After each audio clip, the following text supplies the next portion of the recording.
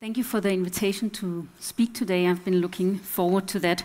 I'm today speaking about the Palmyra Portrait Project for very obvious reasons, namely because the Carlsberg Foundation since 2012 have been funding this project and um, in November decided to fund it for another four years not on the basis of us not having done what we promised, but exactly because we did what we promised and collected until now more than 2,800 Palmyrene funerary portraits, um, published them in more than 50 publications within the last four years, and then, of course, also in combination with the situation in Syria, um, as you know, Palmyra is situated in Syria, um, it has now turned out that the material that we are sitting on as the corpus really has implications for cultural heritage strategies, um, both in the Middle East and um, beyond. And it's, of course, a pleasure for us in the project to be able to continue the work which we've done um, the last four years. You're probably all painstakingly aware of where Palmyra is situated now, namely in the Syrian desert between the Mediterranean and the Euphrates River. It was, so to say, what we might call the last stop on the Silk Road. Um, trading came through the city, caravans, the, the camel caravans ended in Palmyra, um, all the goods were reloaded on donkey caravans and taken to the Mediterranean coast and the other way around. It was also, or is to a certain extent, still a very rich archaeological site.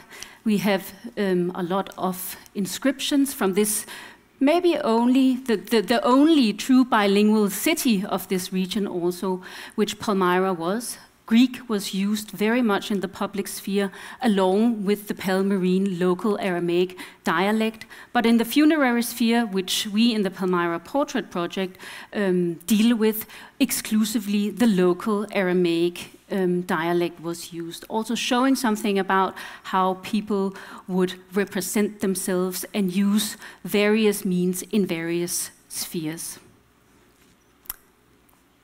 So the idea to the project basically came from the wonderful collection in the New Carlsberg Glyptotek, and we are very happy that we have such a good collaboration with the museum also and can basically have access to the collection um, whenever we need to see things.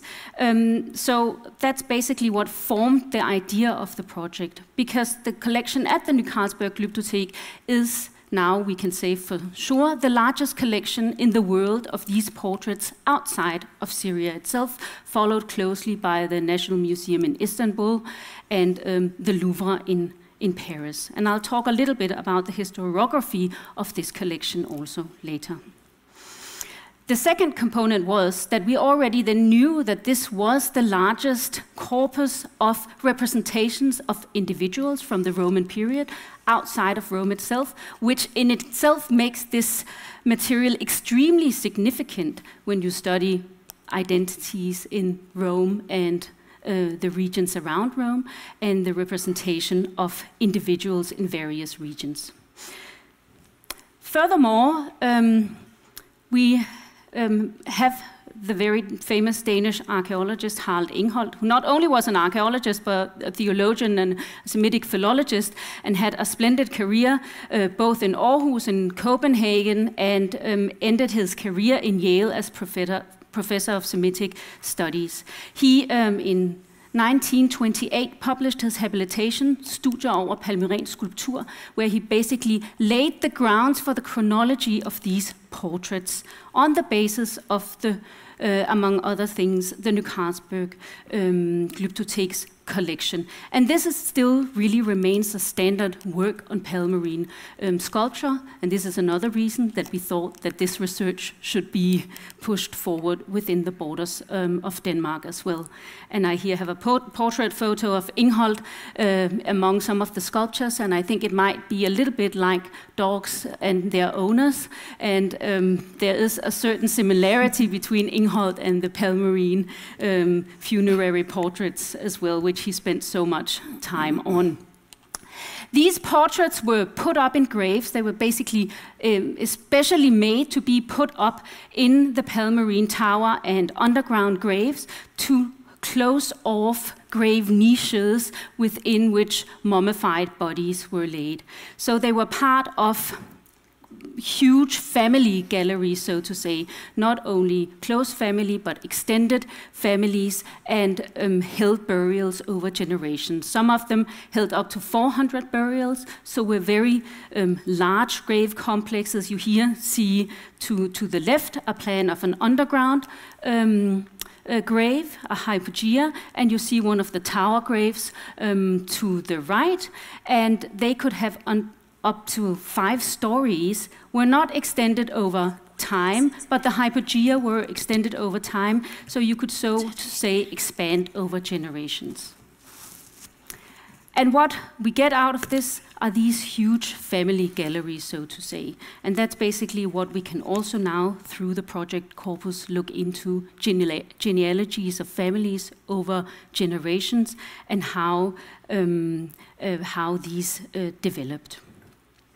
So it is the la largest um, corpus of funerary portraits from the Roman period outside of Rome.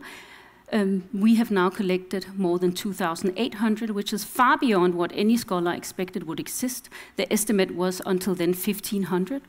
They have a very tight chronological framework, came into existence in the late first century BCE and went out of production when Palmyra was sacked by the Romans in 272 AD.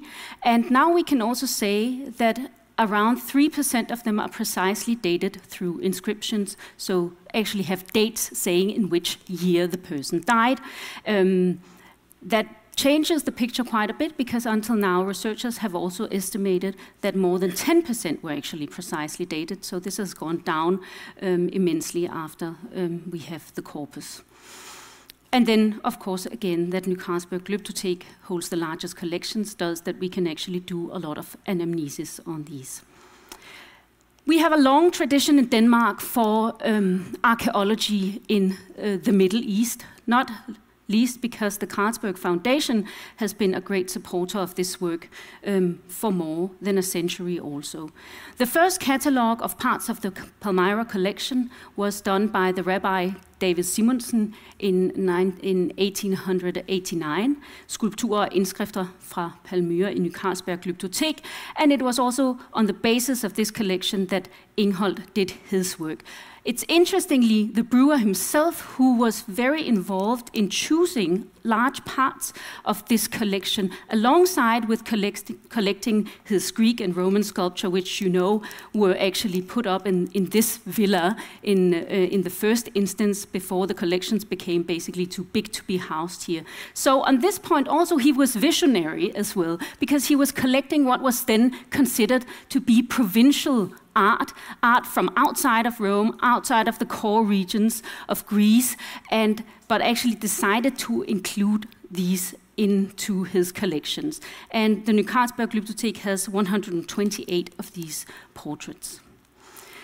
But it started before um, Ingholt. Um, Johannes Elith Østrup traveled through uh, the Middle East on horseback from Egypt all the way to Copenhagen. And more interestingly, it was the Carlsberg Foundation who actually funded this trip and bought the horse for him.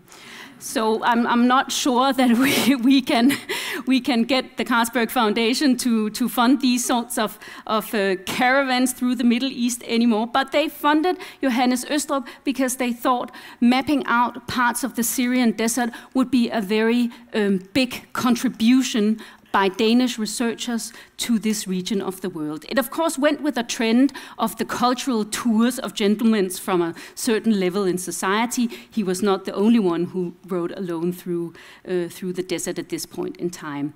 And he also initiated the extension of the Palmyra collection through his very close contact to the Danish consul Leutwil in Beirut. We can now, through his publications, actually say that one of the most famous graves that he supposedly identified, namely the, th uh, um, um, the tomb of the three brothers was actually not that tomb, and these are results that we'll be presenting in, in Paris next week, because through the archives and through his published articles, we can see that he was uh, that what people have thought was this very famous tomb actually was another very large tomb, and we have done we we could do this through the combination of the wall paintings and the architecture of, um, of the grave. So this is just one way of showing how this archival research also adds to what we know about Palmyra. Also today now when we absolutely have no uh, possibility of visiting the site. But Harald Ingholt, he took up the work of Simonsen and Østrup and wrote his habilitation, as I said, um, published in 1928, Studier over palmyrensk skulptur. Alongside this, he also conducted very intense fieldwork in Palmyra in the 1920s and um, 1930s. Um, he had three, uh, three large campaigns and one smaller campaign in 1937. Um, and we only know this because his family has recently contacted me because we published a book on him. And his daughter, who's now 88 years, could tell me that she joined him in the 1937 campaign to Palmyra because it doesn't say anywhere whether it was 35, 36, or 37. So now we have a fixed point for that as well. And actually, the family has very wonderful movies from the excavations that he undertook then. So um, these we are going to put online in the project as well. But not only was he active in Palmyra, he also excavated in Hama, also funded by the New Carlsberg, um, uh, the Carlsberg Foundation. And of course, he also went on tours with all the other famous archaeologists of the time. Like um, you see in the slide uh, up to the right, he's visiting Dura Europos with some of the most renowned scholars of the time, Rostovtsev, uh, Comte de uh, Mesnil de Buisson, and, and other of the big personalities of, of the time. In the slide, um, uh, in the right left corner, you see him during one of his excavation of the famous grave of Malku, whereof the Glyptotek also has some of the pieces.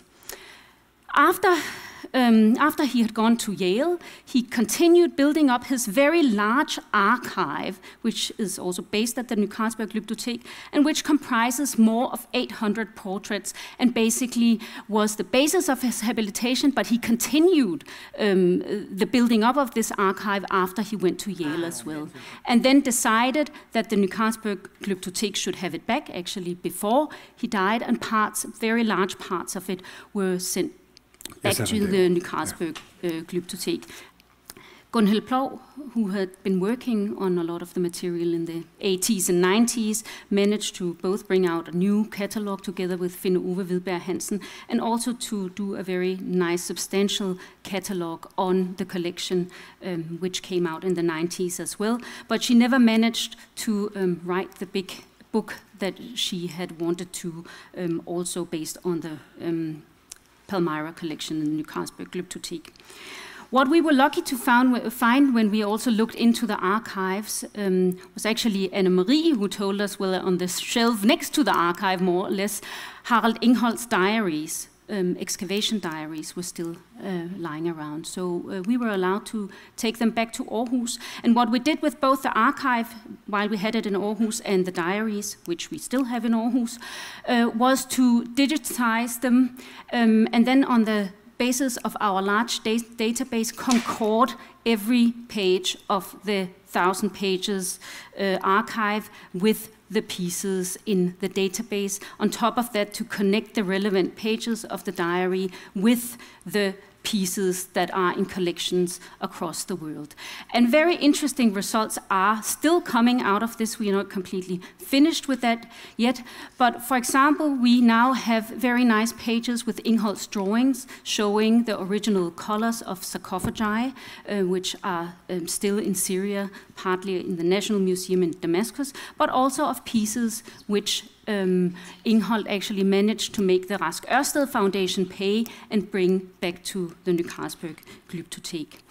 So many museums and collections around the world have these funerary portraits in, in their collections. Actually, any museum with respect for itself will have a couple, and you'll be surprised. I mean, you go around, and in the most unexpected pla places, one or two of these pop up. And there are, of course, also a lot of private collections which we've been um, in, in touch with and collected material from. We were even so lucky that um, the German Archaeological Institute, um, also um, uh, had, had um, an institute in Damascus, had been conducting a documentation project in the National Museum. And when they heard about our project, they actually gave us all their material. And uh, one of the slides here is from the storerooms in the National Museum of Damascus. And there you also sort of see what the challenges are when you work with completely unpublished material and have to integrate it in, in some kind of publishable way. So some have a few. Little House Museum in Stockholm, which I visited a couple of weeks ago, until then had two. We now discovered a third one. So there are always also something lying around in the corners. And then we have the three very large collections in Europe, namely New Carlsberg Glyptotek, the uh, Istanbul National Museum, and Louvre in Paris. Paris. And all the larger collections that means to us all collections above 10 pieces we have um, visited and we have made a primary, primary examination of these pieces and can now also say in particular a lot more about the ancient coloring of, of these things, which seem to be so white, but in the case of the Louvre, it was because in the 80s it was obviously very common to, to sort of um, um, give these quite a tough wash with a little bit of, of uh, water and sand to make them even whiter than they seemed. So there are some of these collections also where we don't have that much color trace anymore. The New Carlsberg Glyptotek, we are very lucky to uh, actually have quite a few color traces. So it's on the basis of all this material, archival material, diary material, that um, we initiated the Palmyra Portrait Project in 2012. Research until then had really focused on how provincial this art was, how out of its time, and how it could be um, compared with uh, provincial trades sort of going on in, in um, various regions of, of modern Turkey, in Hierapolis, in the Decapolis region. And we thought that through actually collecting this large corpus, we might actually be able to turn around the trend in research and say something about the non-provinciality of these portraits, situating them within their local situation. And I think we managed quite well until now. So what we do is um, we we give each portrait um, a, a, very extensive entry uh, in our database, which also makes it extremely well searchable. And we have very good people working with us who are very good at keep making sure that everybody uses the same terminology and these sorts of things. So across these more than 2,800 pieces, we can actually now make very good statistics and interesting results are coming out of this. Of course, many of these were still in situ in the graves in Palmyra, or they were in collections in Syria um, as well. And um, now we, of course, have some, uh, some problems with that since we cannot get to the things.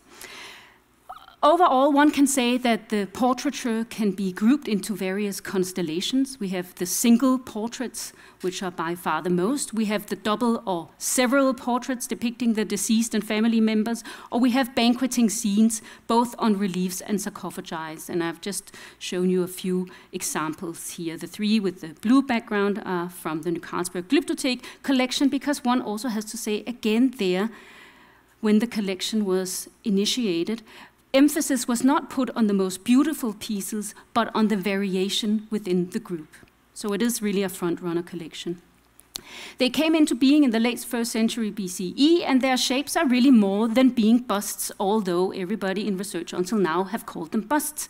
But they are basically depictions of people down until the navel, so much more than what we normally imagine um, a bust being, which also gave the possibility on these items to really show a, a long row of other items which would not have been possible in a normal portrait bust. So the textiles, many attributes, attributes that they could be holding in their hands or the gestures that they make in these, um, in these um, portraits. And here, just to show you another slide um, from inside um, some of the tombs, where you can see the niches in which they were basically put up, or see the niches where they have been taken down. Some of these, um, but by far less than we thought, follow, of course, Roman imperial trends, especially in the second century um, AD, where uh, the, the very bearded emperors uh, begin to come into fashion, and that, of course, also has an influence on this, um, on this portraiture. Or as uh, is the case with one of the pieces again from Ny Carlsberg which Ingholt actually also um, brought back to the collection, uh, where the woman is wearing a very nice Roman influenced hairstyle. But by far follow far the most follow a very distinct local Palmyrene style cannot be said to imitate Roman portraiture um, at all, but really been uniquely adapted to the local needs. Because these grave forms in Palmyra came into being exactly at the beginning of the first century AD, and this was where the portraiture basically also was introduced in this way into, into Palmyrene society. The very interesting thing is that some of these carried inscription telling us that they are the souls of people, not only the expressions, but the nefesh, which is a, a, a local word for soul, and some of the tombs are in themselves even labeled as being souls of the family. So we have a very, again, um, local tradition which is being developed at this uh, point in time.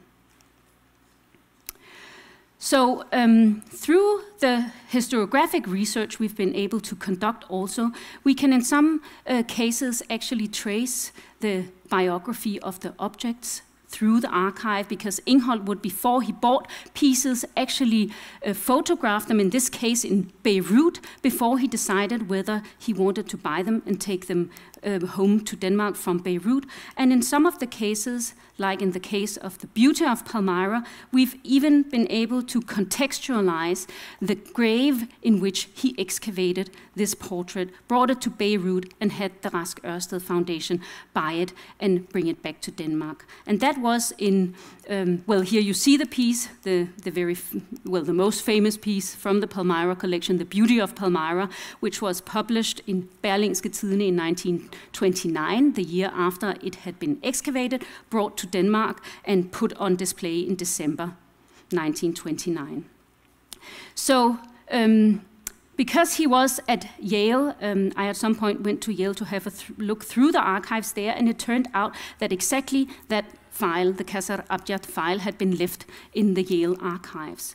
And there, all of Ingholt's note, including all his excavation photos of this excavation that he conducted in this family tomb, as it was, was there together with photos of the pieces also. So in that way, we have been able to do sort of historiographic um, excavations and contextualize one of these most famous pieces back into its original context. Furthermore, we've also been able for the first time to contextualize some of the very famous um, wall paintings from the graves in Palmyra, which, until, which are published but not published in context, but these were graves that Ingholt visited or excavated himself, and they were then published by him also, but without the grave context, because he wanted to do that later at some point. But now through his diaries, we can actually, and the very nice sketches that he did, we can contextualize these, and this is one of the things that we are also presenting at the Paris conference um, next week. Of course, now we have some completely new challenges uh, because of the civil war in, in Syria and also because of the exploding falsification industry. Um, furthermore, we are now together with uh, UNESCO and some other organizations conducting research on, among other things, satellite images. And I just show you one example here. Um, these are satellite images that you see, um, well, on, in the top row. Um, to uh, the left, you, you see the, the supposed um, grave tower of Elahbel, and um, to the right, you see that it's been visibly damaged. But when you actually compare these things with monuments on the ground, and the slide to the left in the lower row is the tomb of Elahbel, um, and compare it with the satellite image, you actually see that it is not the monument itself. It is not the Tower of Elahbel which has been destroyed, it's another grave tower.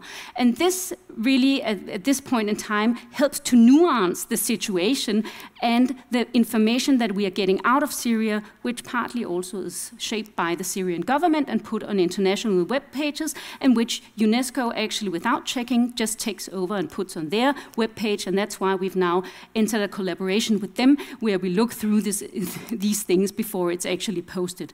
Um, because that is um, a big problem both when monuments that are not destroyed are put on the internet as being destroyed or the other way around. And of course, for the graves that have been destroyed and had in situ things, we now in the project has, have the best contextualized material and researchers can come to us and use the database. Also in connection with the looting of tombs, um, we are sometimes able to help. Um, Artaban's tomb was looted in 2014. Uh, 22 portraits were reported stolen, but actually the tomb has 26 portraits, so what happened to the last four. Um, and in that connection, we come to my last point, because what we've been doing already since 2011, from before we started the, the project with funding, is to actually monitor as good as we can the art market. And there's the uh, legal art market, of course, and we can count around 50 portraits that until now have been sold on, um, on the art market. And this decreased dramatically as, as the large auction houses found out that, that this was simply a no-go and, um, and people had too much attention on it. Um, but, but still, we put these in our database and hopefully in some uh, uh cases we can be able to also help with retrieving some of these. But even in 2015, Christie's sold um, a Palmyrene sculpture um, saying that it came from an American private collection. However, there is absolutely no record of this American private collection, neither in our extensive database nor in other places. And th these are the cases where we can now also work together with in particular a very active state attorney in, in New York who really deals with, uh, with the art market on the American uh, side. But even on eBay, you can buy these things if you are uh, lucky. And um, they are um, sold with faked provenance papers, of course. I mean, of course, it says that it's completely clean pieces, but when you compare objects with provenance papers, it turns out that the provenance papers actually are talking about completely other objects than the one that's being sold. But this was sold in 2015 on eBay. Last but not least, um, very interestingly and very sad, there's a huge local falsification industry. These you can buy also on eBay, but collectors buy them through um, various channels as well. And um, one of the side effects of the Palmyra Portrait Project is that many of these agents of these collectors actually contact us, um, would like to invite us on nice trips to authentify their, their falsified collections. Uh, we say no, we don't do those things. But what, of course, is interesting is that it's giving us some insight into this falsification economy that goes along the illicit trade of these objects. And that is really exploding. Um, and what I just want to say last but least are really that all these individual uh, people, um, all these uh, people of Palmyra who are um, shown in these portraits, um, Ingholt and Østrup and the brewer, are really connected through one aspect, and that is really through the visionary um, style of the Carlsberg Foundation, who dares to actually support completely basic humanistic research, which at the point in time when we started the project, we of course had no idea what sort of impact it would have other places would have said this is a boring corpus, pro uh, corpus project and it won't bring anything to society. But I think we have shown that very basic research might have extreme implications, uh, both on our way of seeing the world, but also quite literary in a situation as the one we are experiencing with Syria now. So thank you very much for your attention.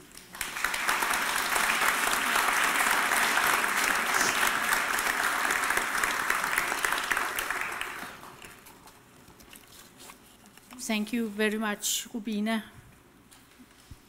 Does it work? Yes. Yes. For this um, this uh, uh, report on the fortunately very very numerous Palmyrene pal Palmyrene portraits, and may I add that we at the Glyptotek are very very very grateful that Rubina and and um, and her team are coming. And I may add also that we have had all our portraits scanned by a team from Japan. So uh, I think that uh, uh, that uh, uh, uh, our portraits are not only the most numerous; they are also also one of the mo most studied collections in the world, and that's very that's a very very good thing. Are there questions for Rubina? Yes. And uh, the microphone, please. Hello. Yeah. Thank you very much, Rubina, for a nice uh, presentation. Um, I have a short question. Uh, Palmyra is said to be a multicultural city. Uh, but within the, the, portraits, are you able to identify these uh, diversities in ethnicity? And can you actually make a composition of how the, the city was, uh, was well, constructed or in, in ethnicity? As I very briefly mentioned, it is, I mean, to a large extent, a bilingual city. I mean, really with Greek and local Palmyrene Aramaic, but only in the public sphere. I mean, in the, in the funerary sphere, which might not have been completely private. I mean, if you think about these graves with up to 400 people in them, there must have been some sort of traffic. Um, but no, that is basically exclusively Palmyrene Aramaic, apart from a few instances where Greek is used, but some of these instances are then non Palmyrenes who were um, buried in Palmyra. For example, a Roman, um, a Roman military man from Beirut is one of the examples of a, of a Greek inscription. But by far, the most are, are kept in the local dialect. So, so this diversity is, is difficult to see in the funerary sphere, but not in the public sphere. There it's completely obvious. Yeah. Lisa? Um, thank you. Uh, you uh, spoke of the beginning, uh, the start of the Palmyrene portraits in the first century BC as something independent, something unique, not connected, as I agree, to the Roman tradition. But uh, what about the Hellenistic uh, tradition from all over the Near yeah. East? I mean, we are in an area that had had uh, such portraits uh, for centuries by now. So, uh, what would you think of that? I think you showed a lady, yeah. which I I would tend to think she looked rather Hellenistic, even if the style is very characteristically Palmyrene. Yeah, I mean, as you know, we, we have a huge problem with Hellenistic Palmyra. I mean, the, the, the newest publications with Hellenistic in the title are basically only Roman things published. Um, so, so there is this sort of gap as we experience many places in the Near East. Um, but I actually cut, had to cut the Hellenistic part of my talk out because I didn't have so much time. But we actually have forerunners because, of course, we have the full figure under life-size stelae, which stand in a very Hellenistic um, uh, portrait tradition. There are a few of those, that's correct, and they stand in this basically Hellenistic tradition, which also comes from the Phoenician coast, or which we know very well um, from the cities um, along the Phoenician coast. Um, but but uh, since these grave um, monuments came into being exactly in the first century uh, uh AD, um, we can say that the material from these only stem from this very tight period of time. But there are these few examples which have, which have been standing on single graves, of course, and of course also in that way might have gotten lost over the centuries. Yeah. There's another question here. Yes, just a short one. Uh, Rubina, do you think that uh, archaeologists could be considered kind of ambassadors uh, on behalf of their countries and even behalf of uh, the, the, international community? And uh, I, in that case, uh, what is your experience so far? uh, in the case of Palmyra? Uh, and uh, what uh, could be the main challenges we have ahead of us? Well, what I experienced, I mean, in December, the Nordisk Ministerråd um, had a conference in Oslo where um, researchers were invited to, to, speak, and I was invited to speak about the Palmyrene uh, portraits. And I experienced an openness from the, the, political side of things and also from various police and custom forces in actually understanding what it is that we can contribute with. And of course, this is uh, the Palmyra Portrait Project is quite basic, and they really understood. Oh, so we can actually check some of these pieces. so we can. So oh, th that's what you can do for us. So I think in the first instance, and now they're talking about making an, a national force on a strategy force. I think this is always the way things start, and that is, of course, where researchers come into um, come into the picture. If we can formulate what it is that we can add um, to to the picture. Um, and right now, of course, with the situation in Syria, it, there's a lot. I, I, think there's more than 65 NGOs working on documentation uh, projects. But one really needs to discuss what makes sense in the case when things have already been destroyed or where things are being looted that were not documented before. I mean, where is it that we actually need to focus our energy? And these sorts of discussions, I think uh, archaeologists can be part of in a, um, in a constructive way.